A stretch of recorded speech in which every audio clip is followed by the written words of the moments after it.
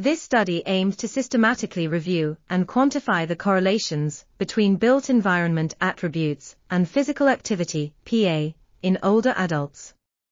The findings suggest that walkability, safety from crime, access to destinations and services, recreational facilities, parks, shops, greenery, walk-friendly infrastructure, and public transport are positively associated with PA.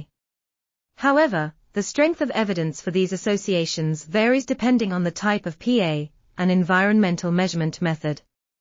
The study also found no consistent moderating effects on the association between built environment attributes and PA.